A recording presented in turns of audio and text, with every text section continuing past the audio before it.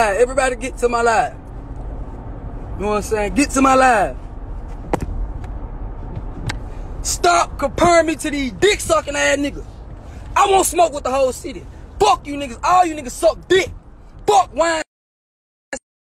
Compare me to no wine C. Don't compare me to none of them dick sucking ass niggas. Fuck wine C. Fuck MVG. 400K. Fuck all you niggas. Don't compare me to you dick sucking ass niggas. I won't smoke with you niggas. I won't smoke with all you niggas. Stop playing with me. I won't smoke with the city. Who want it? Let's do it. We out here. Let's go. Jesus Christ, man. Memphis is going through a lot. You got fucking Lil Migo getting beat up and robbed. You got fucking Ja Morant punching fans in the face or whoever in the face.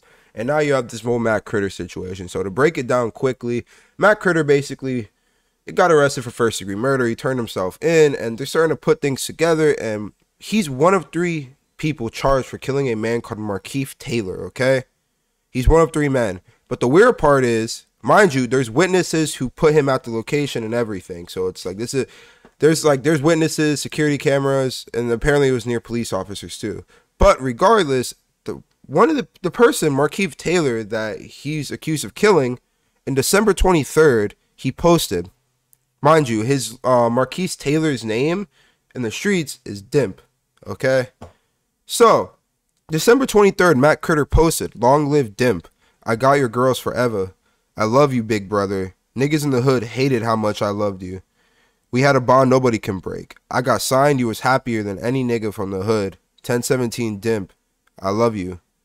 Mind you, I be having them old heads on my head. Like, you can't say nigga, bro, I'm black. Calm down. I'm 6'3, fucking 250. I'm black. Okay, calm down.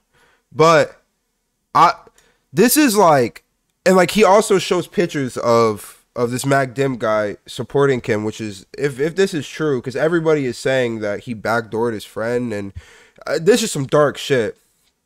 I'm not gonna lie, I, this is some dark shit. Killing your killing your friend and then posting a fucking memorial message or being part of his death and posting a memorial message is pretty fucked. I'm not gonna lie, that's some that's some that's some demonic shit right there. Okay, I'm not sure if like what the fuck is going on, but this is like this is horrible. Like, if he, if, if he actually, like niggas, like bro, these niggas are different. I'm, I'm just gonna keep it a style, bro. These niggas are different. All right, like you're already different to be on fucking live with AK-47, but to kill your your buddy and then post a memorial on his on your Instagram is fucking wild. I don't know, but what do you guys think? Do you guys think that this is maybe the police are framing him and all the witnesses are framing him? And he didn't do anything. I need your guys' opinion. Let me know.